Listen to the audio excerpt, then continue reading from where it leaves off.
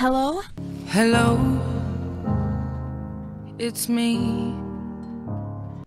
I told you not to call me when I'm at school. I was wondering if after all these years you'd like to meet. Like I said, that was a one-time thing. I don't want to do that again. To go over everything. Well, if it's just one more time, then I guess it's okay. Okay then, I'll see you tonight.